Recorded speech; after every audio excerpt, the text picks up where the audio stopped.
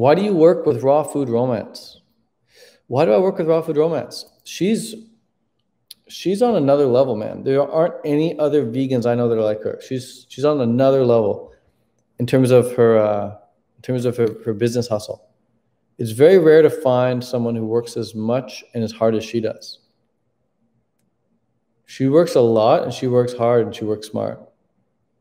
She's constantly thinking about how to do better as well. It's really it's a pleasure, it's an honor to work with her. She's good in the areas I'm not so good at and don't even want to be good at, which is like, whew, it's it's a it's a, again it's a it's a big pleasure working with someone like that. Like working with someone who's like good in your weaknesses, that's awesome.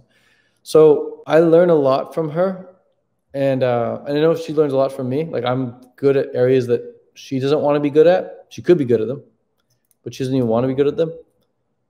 So I just take care of the things that she doesn't want to take care of, and vice versa. She takes care of the things I don't want to be I don't want to take care of like design. She does the design stuff. I do all like the tech stuff. It's perfect. Plus, she's like the the mommy of the academy, and I'm like the daddy. So we get the mom and dad, yin and yang, going on. So it, it works out really well. Works out really well. So that's why I like working with her. She she compliments me on my uh, on the areas that I'm not the best at, and vice versa and together I think we make a good team. She's always down to collab. She's always down to get stuff, and I can call her up like any time of the day, and she's down to talk. She's down to put in the work.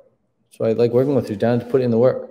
There's things I could do on my own, but like I'd rather do them with her because it's now like a communal thing. It's like a partner thing. So that's why I like working with her.